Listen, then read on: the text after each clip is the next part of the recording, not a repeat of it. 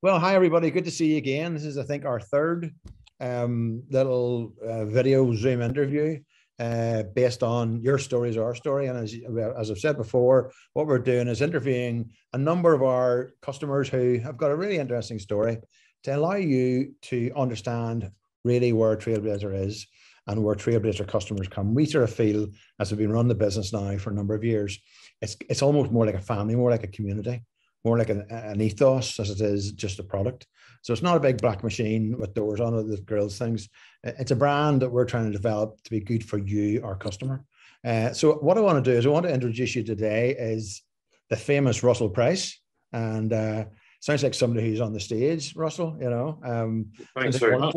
One of those names. Uh, and, and Russell, we've been fascinated at your story. So realistically, this is an opportunity for you to tell the other people watching us uh, the stuff you've told us. I bought a franchise for one of my sons, uh, and we took over that franchise.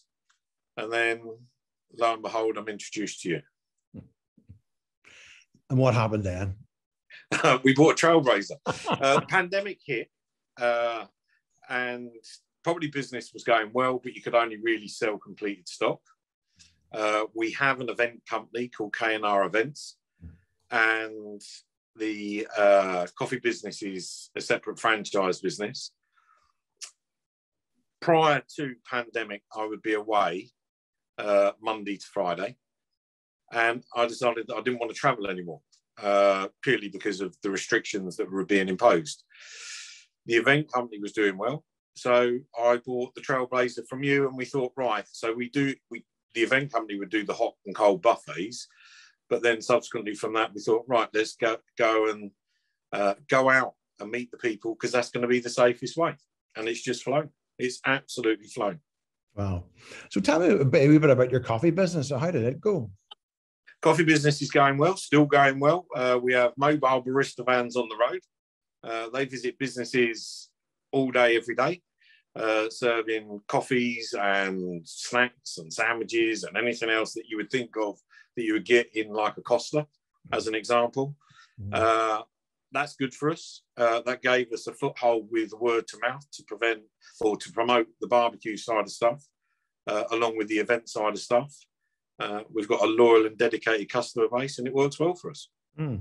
And then you, you know, from a franchise point of view, you know, people who are listening and they're going to be thinking, anybody starting up their own business, it's very wise to look at a franchise because a franchise is a safer way to, to get involved in business and it's historically proven to be that. Uh, and so you've had this, you had a coffee franchise and which is very safe and all the support. And then you decide to move to Trailblazer after all that. Give us a wee bit about that, Russell.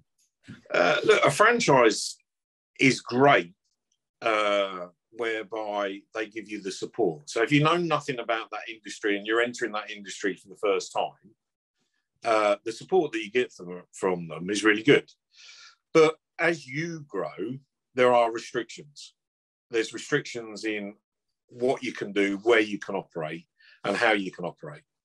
Uh, and you're tied into them. The Trailblazer is just a natural add on to our existing event catering business. And like that was going well.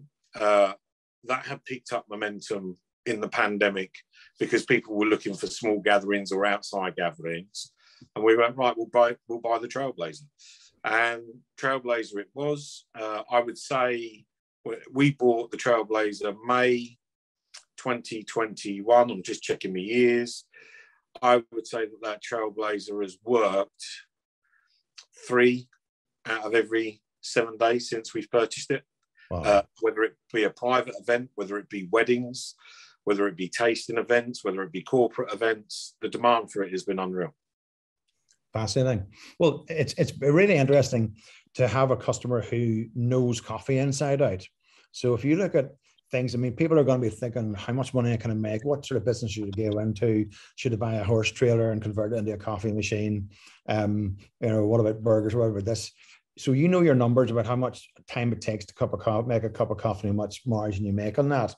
How yeah. does that compare to what you're doing off a Trailblazer? Uh, I don't want to say publicly. Uh, no, I'm, I'm, not talking about physical physical amounts. I'm just saying yeah. that you know, ratio wise is you know. I would say that the Trailblazer is a third more. Yeah. Good. Good. So definitely worthwhile. So the, 100%. the choice of selling cooked protein grilled grilled product is actually more profitable per hour than selling coffee. Is that what you think? Hundred percent. And and and smoked foods. People like I've obviously got the Trailblazer with the smoker. Yeah. And you can read all the blurb about smoking, and everyone says it's an art form, and mm-hmm. you know it, it's possibly the simplest way to cook. Mm-hmm. And as long as you keep that smoker alight, mm-hmm. and as long as you are careful and considerate and keep an eye on what you're doing, mm-hmm.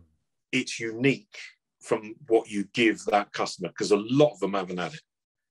Yeah, so for the, for everybody who's listening, um, Russell has what's called the Street Master, the 600 Street Master, which is basically our top of the range machine. It's not our biggest machine, but it's our top of the range machine, which has a fully integrated smoker, hold hot oven in the back of it. Uh, and we're finding out very fascinating feedback because it gives you your fa- your fast and your high speed grilling. It gives you your hold hot. It gives you smoking. Tell us what sort of stuff you do in the Street Master, Russell. Uh, we have our own recipe uh, for smoked Cajun pulled pork. So we mm. smoke that for about four to six hours, depending on the side of the pork, size of the pork. Mm. Uh, teriyaki uh, smoked salmon. Uh, we marinate the salmon for 12 hours, uh, and then we smoke it for about two. Any type of thigh, chicken thigh, uh, whether you Cajun spice it, whether you barbecue it, single thighs, about two hours. Uh, the big, big whole pork uh, ribs, uh, they're huge. They take up the whole uh, trays. Uh, we dry rub them in, in, a Kansas rub. We'll smoke those for five to six hours, predominantly over. All of our smoking is predominantly done over red wine barrel chunks as well. Mm. So I bought a load of red wine barrel chunks, and it just gives it a bit of a different flavour. Uh, we've done smoked uh, jacket potatoes. Uh, we do smoked vegan ribs in the smoker. Uh, we have done obviously the big briskets, uh, but the most populars would be the teriyaki and the chicken. It's fascinating because I've been very interested in since we added that machine. we've had a lot of people talking about what they're doing and the sort of stuff you're doing. And interestingly, the amount of people who tell us that they've never tasted smoked chicken before is huge. The majority of people that we've spoken to do not know what the taste of smoked chicken is. Isn't that fascinating? Yeah, um, it's, it's beautiful and it it's so moist. it is. Absolutely, absolutely. Um, so again, that's a lovely feature. The um, so tell us a wee bit then uh, about um, the sort of stuff you're doing. You know, are you doing mainly private? Or are you doing you know, you know, uh, spontaneous type stuff, public stuff?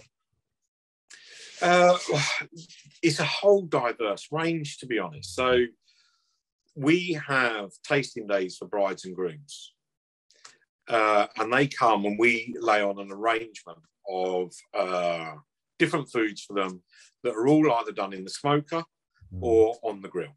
And you can check those out on our website, which is well, you can check them out on our website what our tasting menu looks like.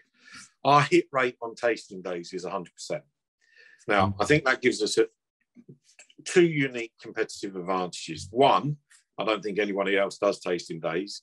And number two, the majority of the people that come to those tasting days have never smoked, tasted smoked food. Mm-hmm. And the problem that you have is when you are compiling their menus, uh, you have to restrict them on what smoked food you want because they want so much of it uh, and it's like, oh, I'd like that, I'd like that, I'm like that. I'm saying, look, I've only got capacity for that.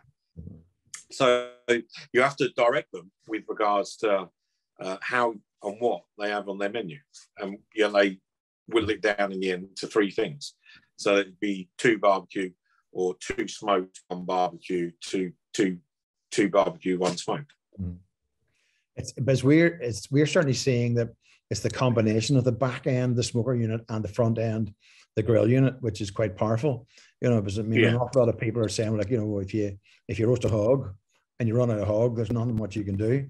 You know, but uh, when you've got both sides going, you can grill forever. What sort of stuff do you do on the grill then, Russell? Uh, we do a whole range. So I'm going to give you a, a, bizarre. I'm not going to mention the lady's name. I have a wedding this year. So uh, the bullock is going for slaughter in uh, April. Uh, it's turning up here thereafter uh, at our commercial premises so that we can butcher it. Mm-hmm. And she's using the whole bullock across the smoker and uh, the barbecue. So obviously there's going to be steaks, there's going to be ribs, uh, uh, uh, list goes on uh, with regards to what she wants. Mm. Well, you're going to have to send us a lot of photo- photographs and video of that, and we'll send it out to the audience. Because I'm sure everybody listening is buzzing to see that. yes, as, as, I can't I wait for the bullock to arrive. That's very exciting. That's very exciting. So, um, any other wee tips, Russell? I mean, what I mean, obviously, like when people are making decisions about buying Trailblazer, their concern always is, oh, will it work for us? Will it? Will we get our money back? Will it cost? Is it you know? Is it a lot of money? Is it a risk? What, what would you say to those people? Uh, seriously, you've got to give it a go. Uh, it is peanuts in the grand scheme of what you will do if you do it right. You know, you the, part of the Trailblazer doesn't just sell your business. The Trailblazer uh, is the forefront of your business. If you get your menus right, if you get your customer service right, if you get your SEO right around promoting you and your business, the Trailblazer is the least of your costs. Mm. And uh, I know that on one of your historic ads, you said, I wish I'd have known about it years ago. I wish I'd have known about it years ago. And a, a, a bizarre compliment for you. I done a big wedding last year at uh, Slane Castle. Mm. And one of the guests at the wedding was uh, an American uh, from Kansas, and he owned the biggest chain of smoke smoker barbecue restaurants in America. And he come around, he looked around the Trailblazer, and I'm not good at American accents, so I'm not going to attempt.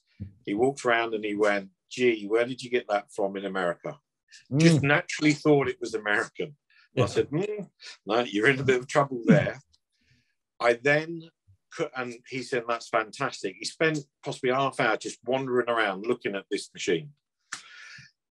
He then, uh, and I, he said, oh, I hope the food's good. And our Cajun pulled pork is not, you know, it's a, it's a very simple recipe. Uh, there's nothing uh, hard about it. And I uh, served that at the wedding for just over 250 people. He was absolutely flabbergasted. He wanted the recipe. I told him it was a family secret. For those of you on here, I nicked it off Simon Rimmer uh, on the Channel 4 uh, on the Sunday morning program. Uh, I told him it was a family secret, and he offered to fly me to uh, Boston to train his chefs on how to cook it. I just said no. That's how simple the Trailblazer is, and that is how I'm going to say taken back from a where it comes from, but b what it does. Brilliant. Well, honestly, Russell, that's hugely encouraging. me. you know, it's it's good for us, good for business, but we just absolutely love hearing those stories, and it motivates us to keep working because I mean I am a very discontent type of guy. I always want to make things better, and we listen intently to our customers and continue to try and add and keep the machine getting better and better all the time. So we're struggling with a street master because it's you know it's it's so developed now. Brilliant. It's based on the core core foundational machine, you know. Um, but honestly, that's been inspirational, Russell. I really appreciate your time. If there's one final word of encouragement you'd like to make the people who are listening who are sitting on the fence, not sure what to do, what would it be? Buy it. Buy Fine. As long as you market your product and your business well, buy it. You won't regret it. Brilliant. Well, thank you very much for your time. We'll we'll put up your website. Uh, you were humble not to want to mention it there, but we'll make sure it ticker tapes across the bottom. Um, Lovely. And uh, we really appreciate it, Russell, and we wish you every every success in 2022. And uh, keep up the good work. Yeah, thank you so much. Thank you.